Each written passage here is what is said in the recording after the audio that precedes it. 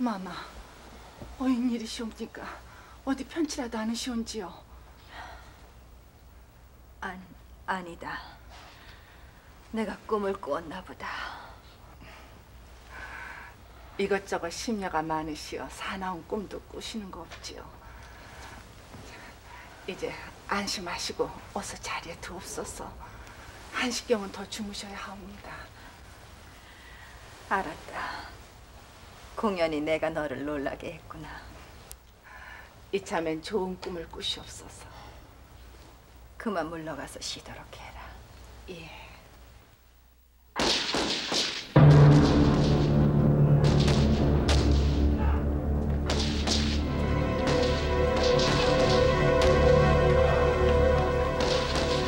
아니, 이게 또 무슨 난리냐?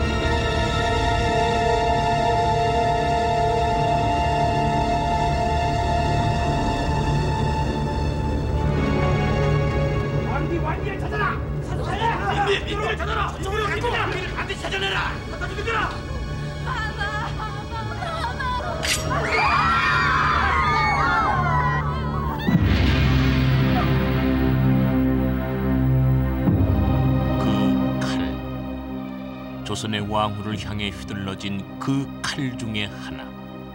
일본 낭인 후지카 사키의 그 칼집에는 이런 글귀가 새겨졌으니 늙은 여우를 단칼에 베었다.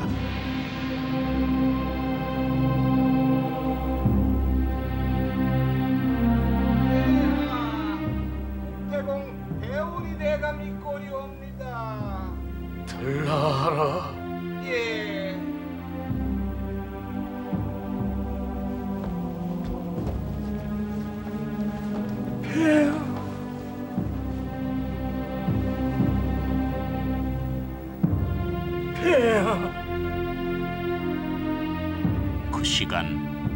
일본인들과 함께 대원군이 입궐했다.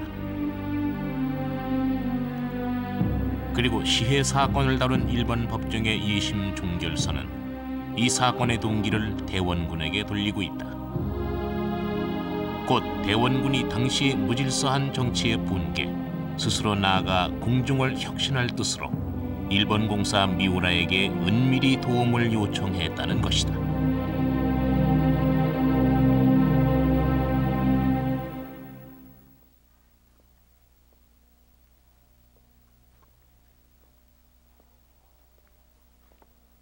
안녕하십니까 고원정입니다. 지금으로부터 99년 전인 1895년 양력 10월 8일 새벽 이 나라의 황후가 살해됐습니다.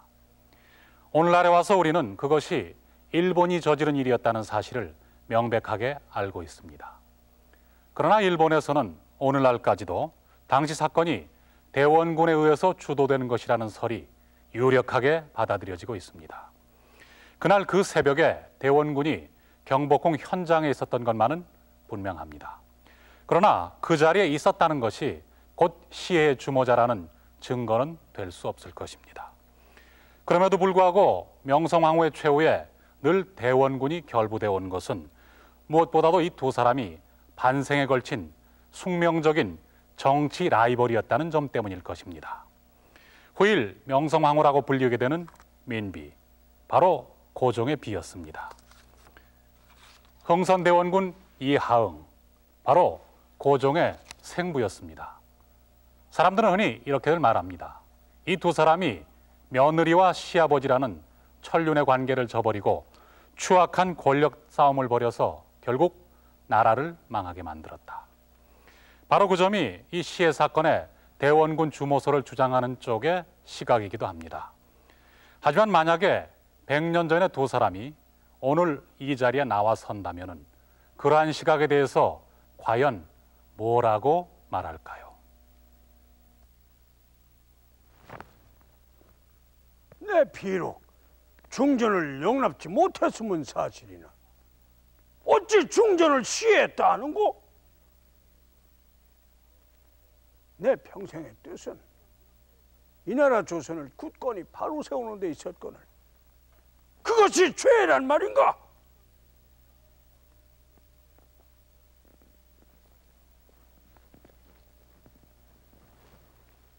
사단은 중전에게 있느니 수렴청정이 아니고는 비빈이 정사에 관여할 수 없는 것이 이 나라 왕실의 법도 그 치엄한 법도를 어겨 이 나라 기강을 어지럽힌 것이 중전이 아니더냐 지아비를 섬기는 것이 마땅한 지엄이의 도리. 나의 지아비는 국왕이었으며 나는 조선의 국모였느니 나라의 사정을 살펴 바른 계책을 삼게 주다라는 것이 어찌 내 소임이 아니라 할 것이던가. 주상을 위해서, 주상의 나라와 주상의 백성을 위해서 내 힘껏 보필한 것이 죄가 된단 말이든가. 내가 비록 간택되지만 않았더라도 내 운명은 달라졌을 것이다. 내 나이 열다섯 시절 운영궁의 부대 부인께서 나를 부르실 때만 해도 나는 내 앞에 놓인 운명을 몰랐다.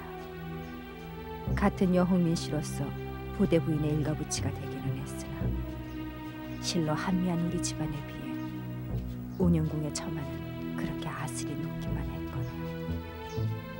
선대 철종 임금께서 후사 없이 승하하시어 내 아들 명복이 왕위를 계승한 지 이태 왕비의 간택을 서둘러야 할 때였다. 부대 부인이 천거한 민치록의 딸을 만나본 것도 그 때문이었다. 그 아이는 총명했다.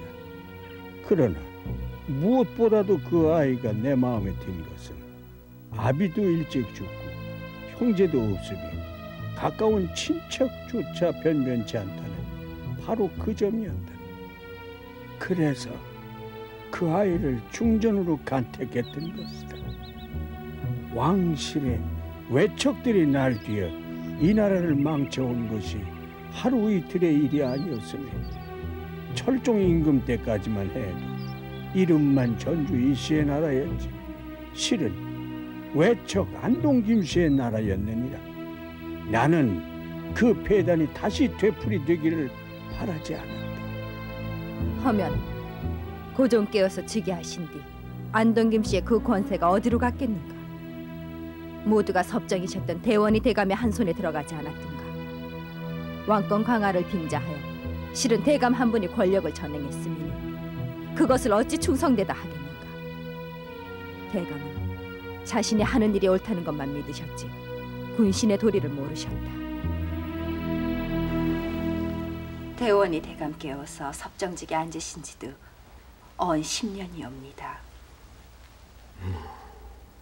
전하 깨워서는 이미 성년이 되셨고요. 그동안 전하 깨워서는 망건의 책으로 치세의 학을 닦으셨사옵니다. 그것이 대체 무엇을 위함이오니까? 이제는 그동안 쌓으신 경륜을 밖으로 만 백성에게 펴실 때가 아닌가 하옵니다. 짐이 그를 모르는 바는 아니오만 한가 사가에서도 자식이 자라면 아비의 무릎을 빌리지 않는 법이옵니다. 항차 막중국사를 다른 왕가에서야 더 이를 말이 있겠사옵니까? 중전도 아시다시피 아버님께서는 아직 섭정의 직에서 물러날 뜻이 없으신 듯한 그를 어찌하오? 이대로 가다간 섭정을 물리치라는 상소가 빗받치듯 할 것이옵니다. 그것이 오히려 대감께 누가 되는 일이 아닐지요. 전하, 결단을 내리셔야 합니다. 부디 진정을 선포하소서.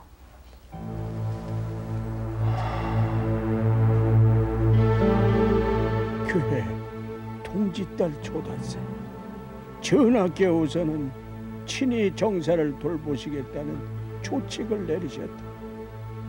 운현궁에서 대골로 통하는 문조차 폐쇄해 버리셨다. 아들이 나의 아들이 이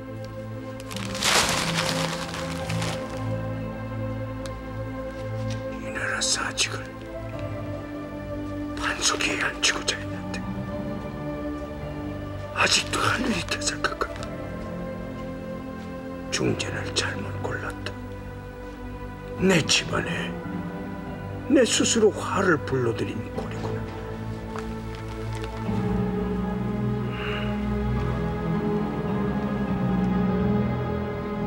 섭정을 그렇게 밀어내고 중전께서 하신 일이 대관절 무엇이었소?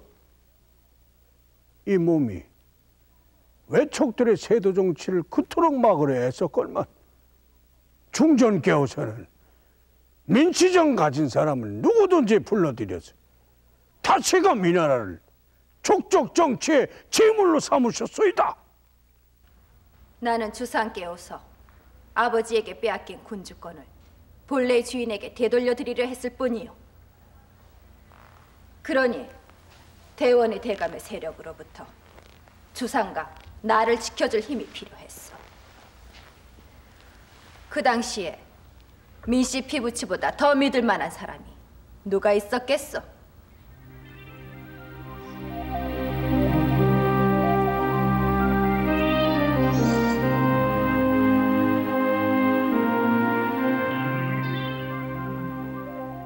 명성황후와 대원군 두 사람은 1873년 대원군의 실각을 계기로 대립 관계로 돌입합니다. 당시 조정에는 민씨 척족들을 중심으로 한 이른바 민씨 정권이 들어서게 됩니다. 그것이 시작이었습니다. 명성황후 시해 사건의 진상을 파악하려면 그로부터 20여 년간이나 계속된 두 사람의 갈등의 역사를 살펴볼 필요가 있었습니다. 두 사람의 대립은 과연 철학도 정책도 없는 단지 권력 싸움 그것 자체만이었을까요? 그렇지만은 않을 것입니다. 실제로 고종 초기의 대원군 정권과 이후 명성황후를 핵심으로 한 민씨 정권의 정책을 비교해 보면은 두 사람의 지향점은 뚜렷한 차이를 드러냅니다. 그 차이는 몇 년 후 당대 조선의 현실 속에서 충돌해서 표면으로 터져 나오게 됩니다. 1882년 이모군란이 바로 그것입니다. 이모년의 후식군절들이 일으킨 난리는 흔히 별기군과의 차별 대우 때문인 것으로 알려져 있다. 별기군은 민씨 정권이 개화 정책의 하나로 일본의 권고를 쫓아 창설한 신식 교련 병대였다. 그 교련생에게는 월등히 많은 급료가 지급된 것이 사실이었다. 반면 구식 군주들의 급료는 체불되고 군제 개편으로 군용의 규모 또한 축소되어 수많은 군졸들이 실직 상태에 처해 있었다. 그런 상황에서 오랜만에 급료라고 지급된 복미 태반이 썩은 쌀이었던 것이 그들의 분노의 도화선이 되었다.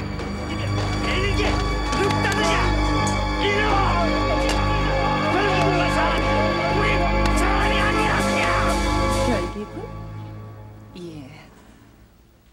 일본이 교관이 훈련시키는 신식병대 말이옵니다. 그 별기군만 좋은 대우를 해준다 하여 그것에 분을 품은 탓이라 하더이다. 별기군을 세움은 조정의 개화 방책 아니드냐? 저들로 우선하여 신병기 신병수를 익히고자 함이거늘 그것이 불만이란 말이드냐? 따는 이유가 없는 것도 아니옵니다. 도감의 옛 군사들은 벌써 열석 달이나 복미를 받지 못했사온데 이번에 한 달치나마 복미를 지급한다고 한 것이 태반이 썩은 쌀이거나 모래가 반이나 섞은 것이었다 하옵니다. 선해청에서 듣자니 쌀을 도봉소로 옮기는 도중에 축나는 일이 없지 않을 수 없다고 하더구나. 복미를 제때 지급하지 못한 것은 민망한 일이다만 선의 청인들 비축된 곡식이 어디 있느냐? 마마, 너무 심려치 마옵소서. 조정에서 무의대장을 보내어 타이르라 일러 싸우니 군사들도 곧 흩어지지 않으리까. 대감마님, 소절들은 이대로 흩어질 수가 없사옵니다. 흩어지면 죽을 뿐이옵니다. 홧김에 눈이 뒤집혀 천하의 세도가 민대갑당을 들어엎고 하인들까지 적살했은즉 무슨 수로 살길 바라겠사옵니까? 대감마님, 저희 소절이 의지할 때는 대감마님밖에 없사옵니다. 어떻게 하면 좋겠사옵니까? 대감마님, 하교를 주옵소서. 대감마님, 들어오게. 예. 김고, 이거, 자 이거 들어갑시다.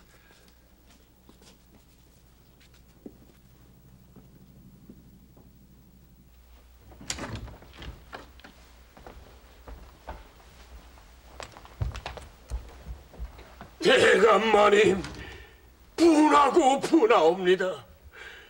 대감마님께서 섭정에 계실 때는 저희 장졸들을 설부치처럼 돌보셨사온데 이제는 민씨들이 외와 결탁하여 소절들을 사뭇 개밥의 도토리처럼 취급하나이다.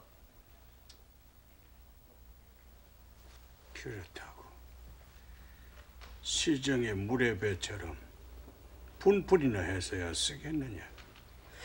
일은 이미 저질러진 법. 이를 어찌 수습해야 하오리까? 너희들의 정상을 모르는 바는 아니다. 민씨들이 권력을 잡은 지 10년도 아니 돼서 내가 채워놓은 국고를 다 탕진했다. 이자들은 아무 준비도 없이 초선의 문호를 열어 이 나라를 외의 밥상으로 만들어 버렸다. 관리들은 백성을 수탈해서 제 배를 채운다 하거니와 굶주린 백성들은 어디서 한 톨 알국을 구하겠느냐? 정말 그렇사옵니다. 죽으라는 건 백성들 뿐이지요. 하나, 장부로 태어나서 일을 도모하자면 분풀이나 해야 할 일이 아닐 것이다. 정녕 나라를 위하는 일이 무엇일지 곰곰이 생각을 해야 될 것이다. 군졸들의 집단 행동은 그날 밤 무렵에는 완전한 무장 폭동으로 변모한다. 경기 감영을 습격하고 민씨 족적들의 저택을 공격했으며 별기군의 훈련 교관인 후리모도를 비롯 일본인들을 살해하고 일본 공사관에 불을 질렀다.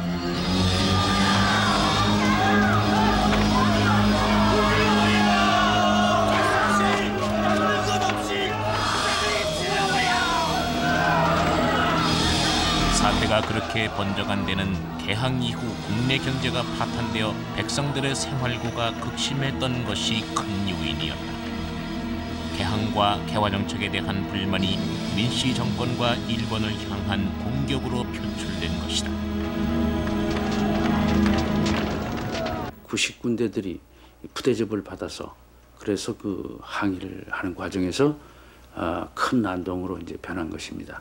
첫째 에, 민씨 정권에 대한 아, 그 항쟁, 즉 민씨 정권이 이 갑작스러운 개항 정책을 쓰다 보니까 에, 일본의 그 물건들이 막 들어와 가지고 물가는 오르고 어, 봉급은 잘 안 나오고 국고는 메마르고 이런 과정에서 이제 군인들이 불평을 했고 그런 불평에 대해서 일반 민중들도 호응을 했습니다. 차라리 대원군 쪽이 낫다는 그런 생각들을 한 것 같습니다.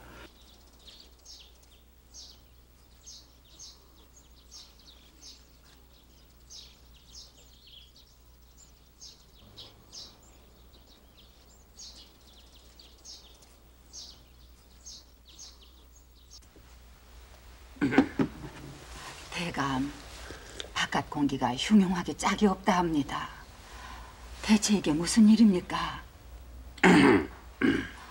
어제 그 군사들이 동별령 무기고에 쳐들어가 무기를 빼앗고 의금부 죄수들을 다 풀어줬답니다. 민씨 대감들들도 여러 채가 부서졌다면서요. 대감, 답답합니다. 안에 들어가서 관복에 먼지나 털어놓으시오. 관복이라뇨? 입궐하시렵니까? 아마도 전하께 오서 이 아비가 필요하실 게요. 대감만이 대궐에서 전력이 왔사옵니다. 속히 입건하시라옵니다. 무엇이? 폭도들이 궁궐에 난입을 했다고?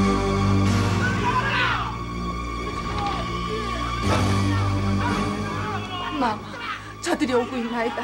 어서 몸을 피하셔야 합니다. 나더러 네 옷을 입으란 말이드냐? 황송하오나 서두르소서 저들이 중전마마를 찾는다 합니다. 어찌하여 일국의 국모가 제 나라 백성들에게 쫓긴단 말이냐? 전하께 오소서. 전하께 오서 무사하시던가. 대원이 대감을 부르신 뒤 별전으로 피신하셨다 합니다. 마마, 어서.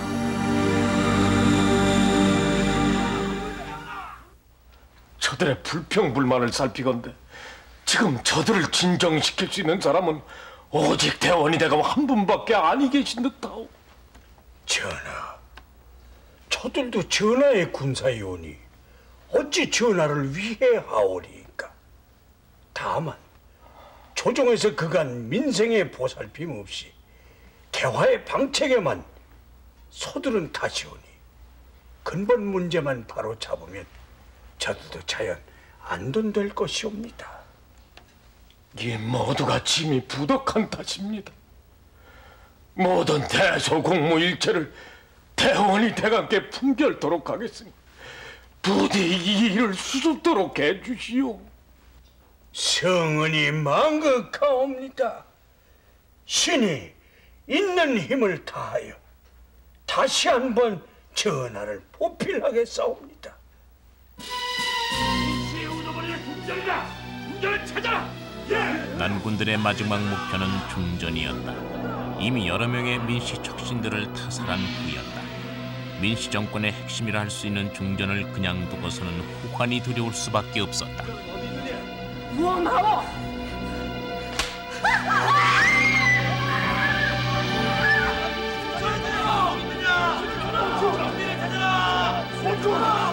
대원이 대감의 전교를 받들고 왔다.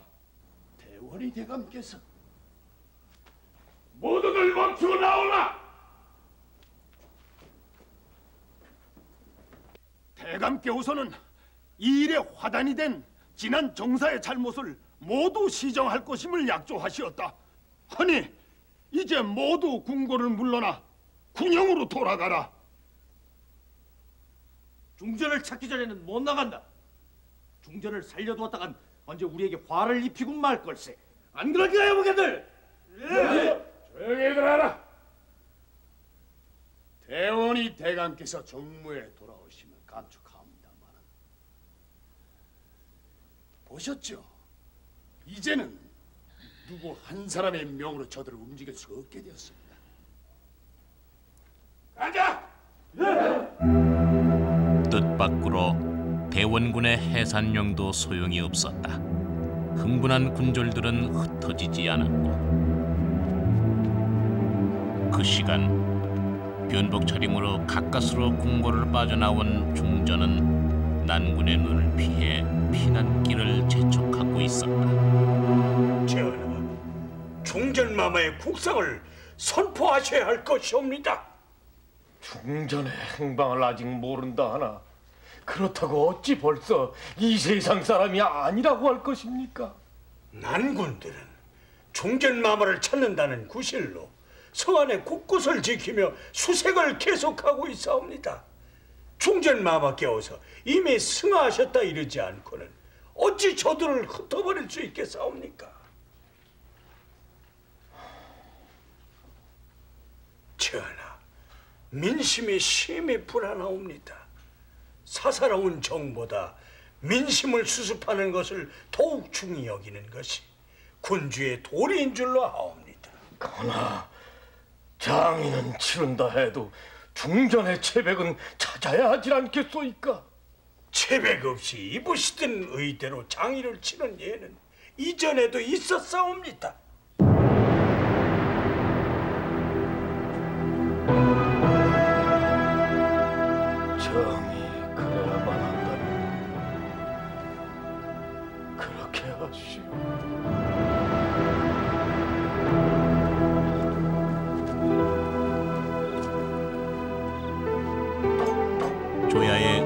강경한 반대에도 불구하고 공중에는 국장 도감이 설치됐다.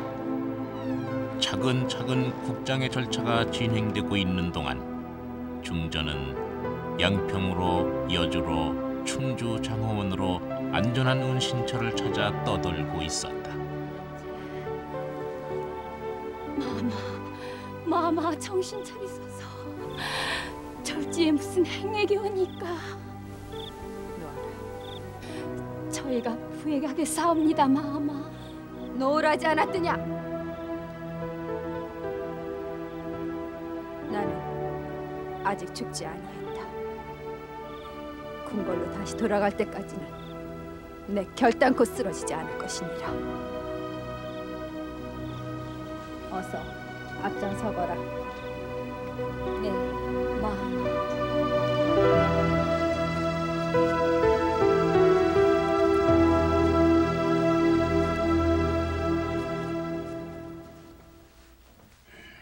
구년 만에 다시금 권력을 손에 쥔 흥선대원군. 그가 제일 먼저 한 일은 민씨 정권의 신식 관제를 폐지하고 모든 정부 제도를 옛 제도로 되돌려 놓은 것이었다. 대원군과 민씨들의 정책 방향은 그렇게 서로 대립되는 것이었으니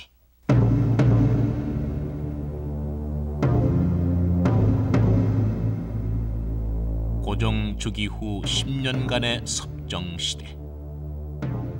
대원군은 안으로 썩은 내정을 개혁하고 세도 정치를 타파했으며 밖으로는 적사의 명분을 세워 쇄국 정책을 단행했다. 외국의 통상 요구를 일체 거부한 대신 강화도를 비롯한 연안 지방에 포대를 증설하고 군비를 증강하는 일에 전력을 다했다. 신무기 제조에도 큰 관심을 기울였다. 비록 실패는 했으나 서양의 함선을 본뜬 철갑선을 건조하기도 했고 풀솜을 13겹이나 누벼 방탄조끼를 만들기도 했다. 그는 19세기 말 밀려오는 외세의 위협을 무력으로서 막아내고자 했으며 막아낼 수 있으리라고 믿었다. 대원군의 그 갑자유신이라고 해서 초기에 발표한 개혁 정치 이것은 일본의 명치유신에 해당하는 또 명치유신보다 빠른 것이었습니다. 그러나 그것이 근대화로 직결되지 않고 단지 그 대내적인 개혁 정치 밖으로는 문을 닫는다고 하는 그런 쇄국 정책으로 연결이 됐어요. 우리나라를 지킨다고 하는 국 권을 수호한다고 하는 그런 자주적인 측면에서 대원군의 쇄국 정책은 평가가 되죠.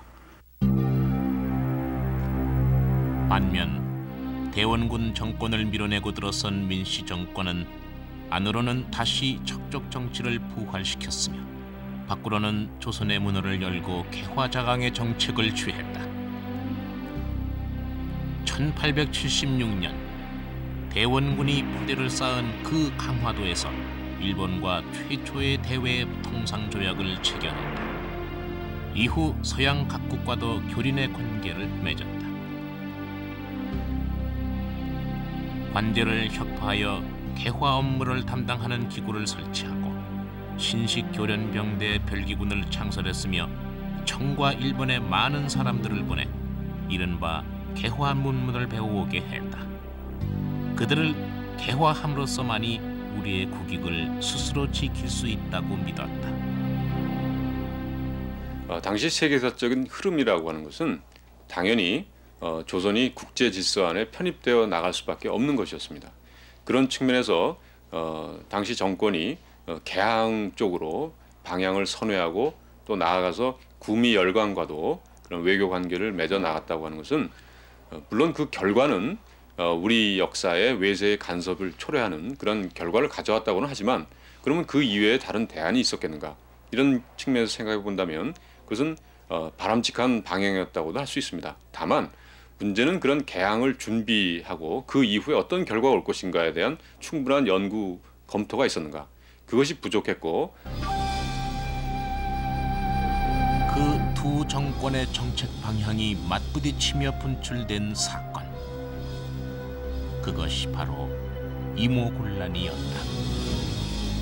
굶주린 백성들의 불만이 척사론에 편승, 민씨 정권의 개화 정책에 정면 충돌한 것이었다.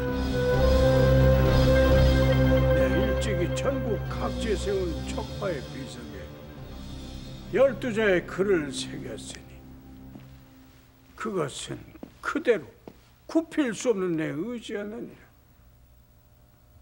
양이가 침범함에 싸우지 않는 것은 화해를 하자는 것이요. 화해하자는 것은 곧 나라를 파는 것인즉 이 나라 강토를 외와 양이에게 열어준 저 민씨들이야말로 매국의 죄인들 아니겠는가? 쇄국을 한다고 하여 언제까지 쇄국이 될 형세이드냐? 창과 칼로서 어찌 양총을 막을 것이며 범선으로 어찌 철갑선을 당할 것인가? 나라를 지킨다는 명분으로 결국은 이 나라 강토와 백성을 도륙하게 될 것인즉 차라리 나라의 문호를 열어 외국의 신문물을 배움만 못한 것이니라. 그것이 주상 전하와 나의 뜻이었다. 그러나 어리석은 백성들은 그 뜻을 헤아리지 못했으니.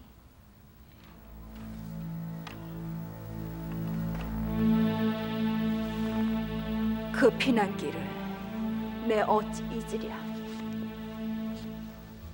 사방에서 중전을 찾는 소리 뒤를 쫓는 발자국 소리. 백립을 쓰고 백성들은 고굴하고 있었지.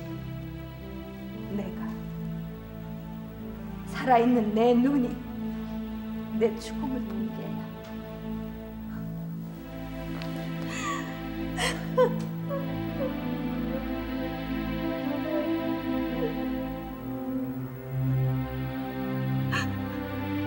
전하, 전하, 나를 버려두시나이까 세자죠.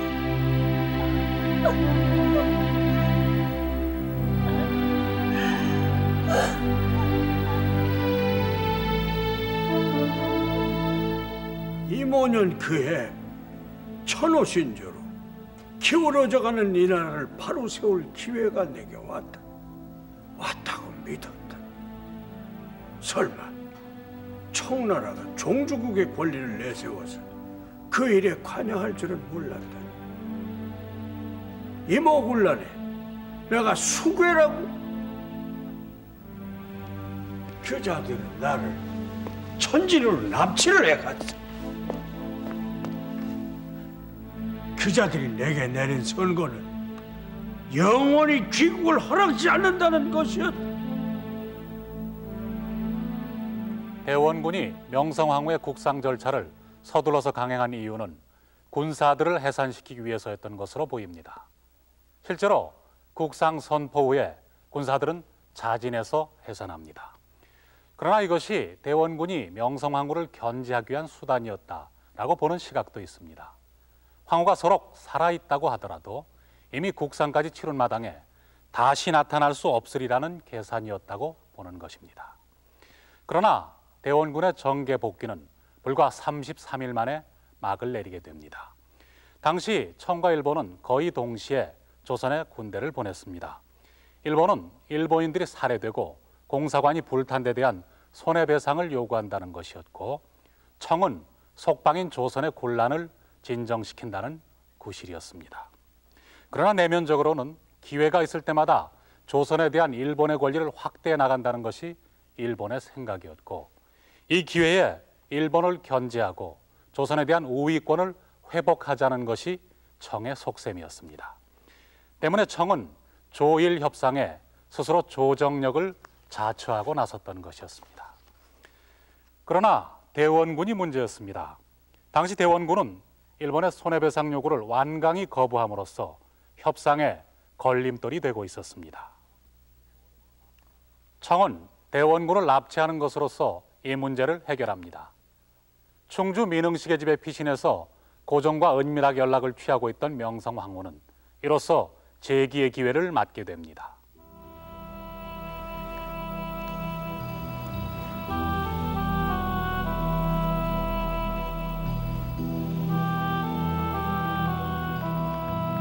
한 달하고도 스무 날 말이었다. 나는 나팔과 오색 깃발을 앞세우고 나의 궁궐로 돌아왔지. 귀하신 전하와 세자 저의 옆으로.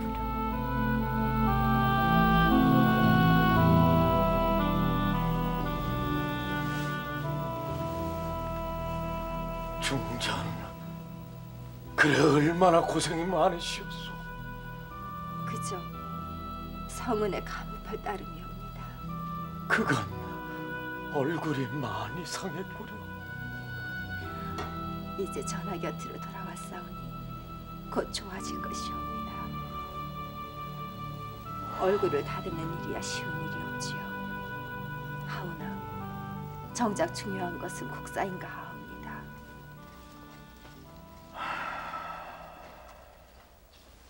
대원이 대감께어서 옛날로 되돌려 놓은 일들을 바로 잡아야 할 것이옵니다. 천하의 대세가 옛과는 판이하게 달라졌사온데 완명고루한 배의 정책으로 어찌 나라를 부지할 수 있겠사옵니까? 이치는 그러하나 지난번 난리 때 보다시피 백성들의 뜻을 얻기가 어렵구려. 전하, 전하께서 직접 타이르 서서 우리가 이미 세계 여러 나라와 통상의 조약을 맺고 있음에 다시는 백성들이 외여 서양이여 하면서 민심을 소란케 해서는 아니 될 것이옵니다.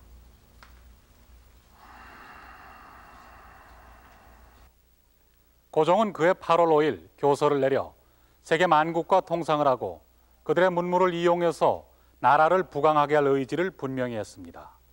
그리고 대원군이 세워놓은 척화비를 모두 뽑아버리라고 명했습니다. 그러나 이모굴라는 명성황후와 대원군 두 사람의 자리 바꿈만으로 끝난 것은 아니었습니다. 이 사건이야말로 한반도의 외세가 직접 개입하게 되는 단초가 되었던 것입니다. 그 결과가 어떻게 되었을까요? 우선 청은 조선에 대한 우위권을 확보하는 데 성공합니다. 조선에 친청 정부를 세우고 조선 군사에 대한 일체 사무를 청의 통제하에 두게 됩니다. 일본은 손해배상금을 받아냈고 개항지를 확대했으며 공사관 보호의 명목으로 군대를 주둔시키는 권리를 얻게 됩니다. 즉, 청 일 양국이 다 같이 조선의 군대를 주둔시킬 권리를 얻게 된 것입니다.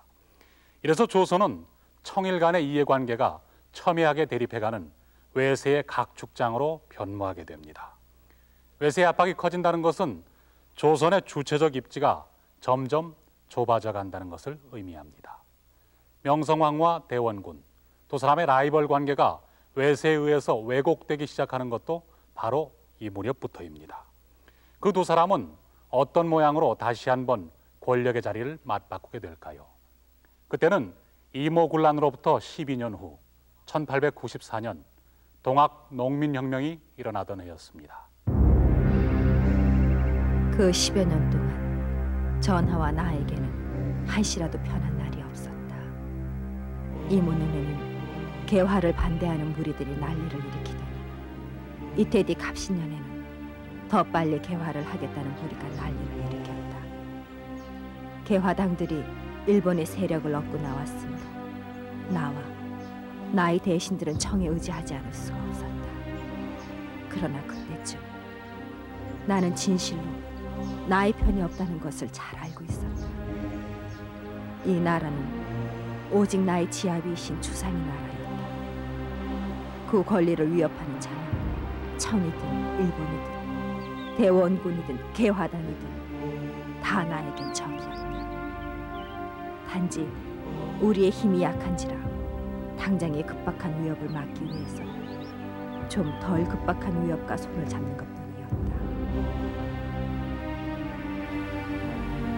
가보년에는 또 동학당의 무리가 크게 일어났다. 그들이 조정을 위협함으로 그들도 또 나의 적이 되었다. 그들의 위세가 날로 확장하니 다시 한번 우리는 청의 원군을 요청하지 않을 수가 없었다. 동학의 무리들이 승승장구한다는 소식을 들었을 때 이 늙은 가슴이 다시 뛰었다. 4년 만에 청에서 풀려나 고국으로 돌아와 보니 그동안 조종의 대소 관리들이 청나라 당과 일본 당으로 나뉘어 반목하고 있는 중에도 시세는 어쩔 수 없이 개화의 방향으로 흘러가고 있었다. 그런데 한갓 백성들이 이제 감히 외오랑캐와 서양 오랑캐의 충멸을 외치며 나를 옹립고자 한다는 것이었다. 그들은 청도 일본도 아닌 내 나라 백성들이거니 나는 그들의 한양 입성을 간절히 기다렸다.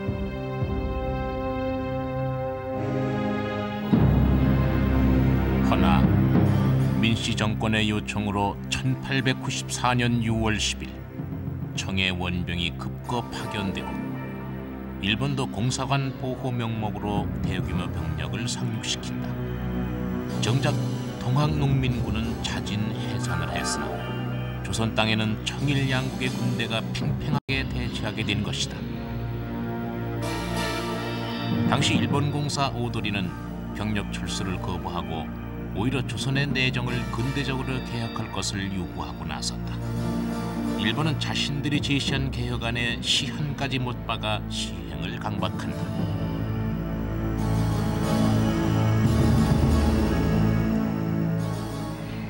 갈증이 좀 가시셨나이까? 아무리 마셔도 속은 그저 타는 듯하오. 일본 공사가 저렇듯 답변을 강박하니 약조 시한이 이제 겨우 이틀 남았소우리요. 저들은 우리가 답변하지 못할 줄 번연히 알고 있을 것이옵니다. 우리더러 자주고김을 선포하라는 것은 그렇다고 치더라도 아산에 주둔하고 있는 청군을 축출하라니요. 우리 군사로서 그것이 어디 단키나 한 말이옵니까? 그러니 걱정이지요. 저들은 무슨 빌미를 잡아서라도 이 나라에서 물러나지 않을 생각인게요. 일본이 그리 나오면 청인들 가만히 싸우리까?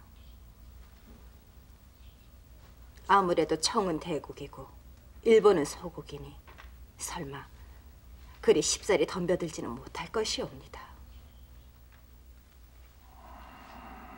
일본 정부는 동학난이 일어나니까 13,800명이라고 하는 대군을 동학난과는 전혀 상관- 상관없는 제물포 지역에 투입시켜 놓았습니다.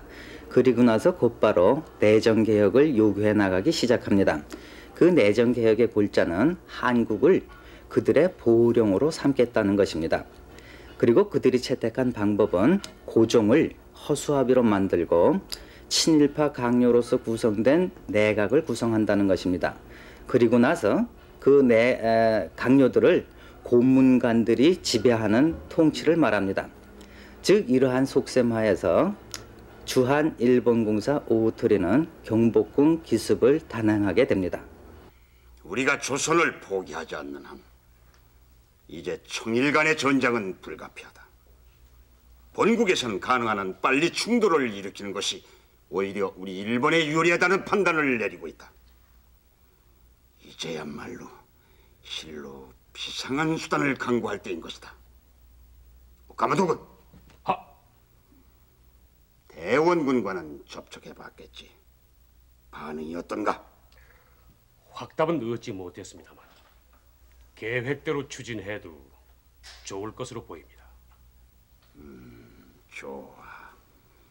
그렇다면 대원군은 옥가모도군이 끝까지 책임을 맡도록. 제외 공사관들의 눈들이 있으니 이 일은 어디까지나 조선 내부에서 일어난 일로 보여야 하는 것이야. 대원군을 운영궁 밖으로 끌어내는 일이 얼마나 막중한지 알겠는가? 명심하겠습니다. 그 사이를 조선 조정으로부터 답변서를 받기로 한 바로 그날 밤이 좋겠습니다. 저들은 분명히 우리들의 요구를 받아들일 수 없게 될 테니까요. 시기무라고는 조선 조정 내 일본당의 내응 여부를 다시 한번 타진하라.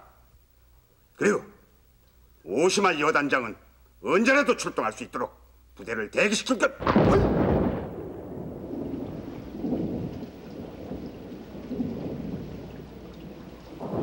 지금 조선은 민씨 일파로 해서 내정의 문란이 크게 달해 있습니다. 그럼에도 불구하고 우리가 내놓은 개혁안을 반대만 하고 있을 뿐 그 누구도 바로잡을 엄두를 내지 못하고 있어옵니다. 실로 강철 같은 손길이 필요할 때입니다. 오직 하파 한 분만이 그 일을 할 수 있을 것이옵니다.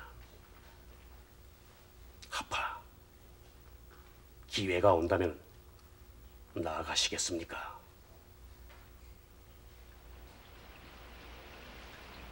외와 양을 배척해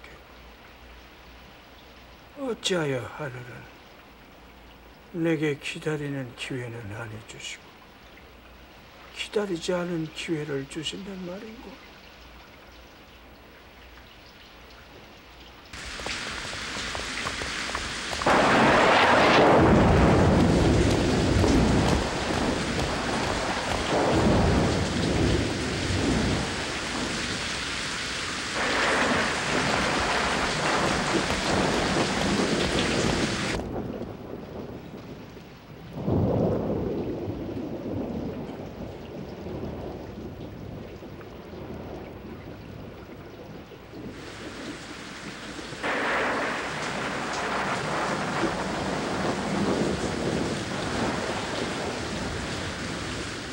하파, 어찌 이리 망설이시나이까? 다시 한번 천하를 호령할 수 있는 기회입니다. 그 기회를 어찌 놓치려 하십니까? 지금 내외의 많은 사람들 오직 하파 한 분에게 기대를 걸고 있습니다.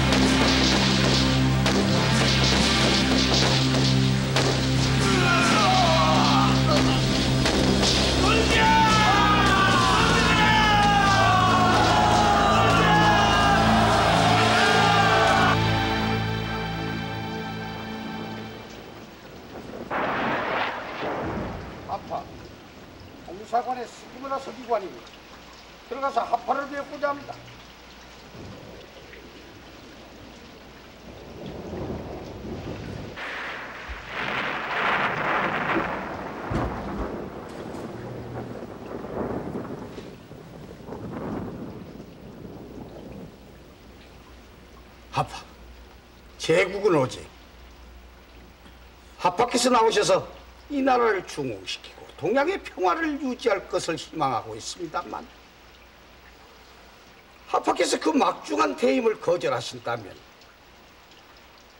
어쩔 수 없이 우리도 다른 방책을 강구할 수밖에 없습니다. 그리되면 조선 종묘 사직의 안위 여부 또한 장담할 수 없게 될 것입니다.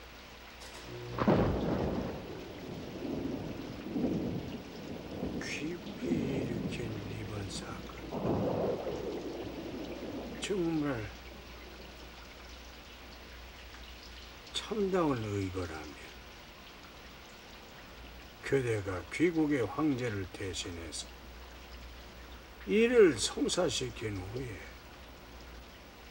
조선의 땅을 한치도 요구하지 않겠다는 약속을 할 수 있겠는가?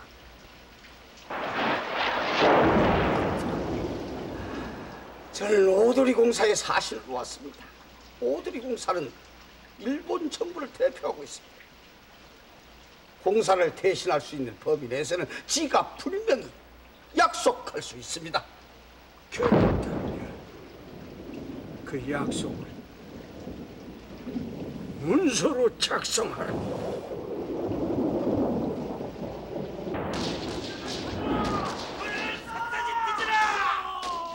얘들아, 이 무슨 소란이냐? 얘들아! 마마, 지금 국내에는 일본군으로 가득하옵니다. 궁인들도 태반이 다 달아났었고. 마마, 일본군. 그 일본이.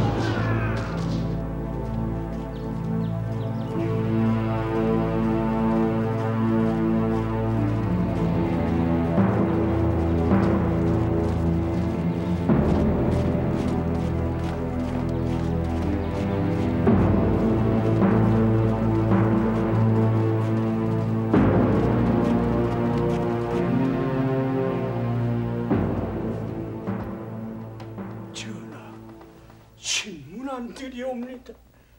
실로 10년 만인가 옵니다. 대공께서 전하, 국태공 합파가 아니시면 감히 오늘의 난국을 주재할 사람이 없을 것이옵니다. 알겠소이다. 국태공께서 이 별난을 수습토록 설정의 중임을 맡아주시오. 전하, 이제부터 개혁의 과업을 추진해 나가 조선이 개화하오면 일본과 조선 두 나라의 관계는 이전보다 더욱 돈독해질 것이옵니다. 일체 모든 정사를 대원군에게 먼저 품 결토록 하라. 육군과 해군에 관한 일체 정무도 대원군께 품하라. 좌찬성 민영준, 전통제사 민영식, 전통제사 민흥식은 유배령에 처하라. 조정의 민씨 일파를 제거한 일본은 친일 정권을 세우고 그 핵심에 개혁을 담당할 초정부적 기구 군국 기무처를 설치한다. 이것이 이른바 갑오 개혁의 시작이었다. 같은 무렵 일본은 조선의 풍도 앞바다에서 선전포고도 없이 청함의 선제 공격을 감행, 청일 전쟁을 개시했다. 패퇴를 거듭하던 청군은 그해 9월 16일 평양 전투를 끝으로 완전히 조선 땅에서 밀려나게 된다. 이른바 일본의 경복궁 기습 사건을 전기로 조선의 운명은 완전히 일본의 손아귀에 들어가게 됐습니다. 이것은 또 명성황후와 대원군의 라이벌 관계가 이전과는 전혀 다른 국면으로 접어들었음을 뜻하는 것이기도 합니다. 곧 두 사람 모두가 일본의 절대적인 압박하에 놓이게 됐다는 뜻입니다. 여기서 우리는 두 사람의 선택에 대해서 동시에 의문을 가지지 않을 수 없습니다. 당시 조정에서는 동학의 봉기를 막기 위해서 청의 원병을 요청했고 이것이 곧 일본 침략의 원인이 됐습니다. 어떻게 제 나라의 백성을 타도하기 위해서 외국 군대를 불러들인단 말입니까? 오늘의 눈으로 보아 그것이 실책이었음을 인정하오. 그 당시 우리가 개화를 추진했다고는 하나 그것은 어디까지나 500년 동안이나 이어온 왕조 사회의 인식 속에서였다는 점을 이해해 주기 바라오. 나에게는 왕조가 곧 나라였어. 전하와 세자 저하를 보호하는 것이 곧 나라를 보호하는 거였어. 대원군께서는 경복궁 기습 사건 때 일본에 이용당함으로써 가장 큰 정치적 자산이었던 척화의 명분을 잃고 말았습니다. 대원군께서는 정말로 권력을 위해서 자신을 판 것입니까? 나는 내가 이용되는 것이 아니라 내 스스로 일본을 이용한다고 생각했어. 어찌 권력이 목적이 되겠소이까? 나는 일국을 경영하고자 하는 포부가 있었고 그것을 위한 권력이란 도구가 필요했던 것이오. 지금에 와서 무슨 할 말이 있겠소이까만 하나 분명한 것은 당시 왕후도 나도 그저 조용히 일본의 지배를 받아들인 것만은 아니었다. 일본의 지배에 놓이게 된 두 사람의 라이벌 명성황후와 대원군. 명성황후 시해 사건의 진상을 아는 열쇠는 바로 이 구도로부터 출발합니다. 전혀 달라져 버린 상황 속에서 이 두 사람은 과연 무엇을 할 수 있었을까요?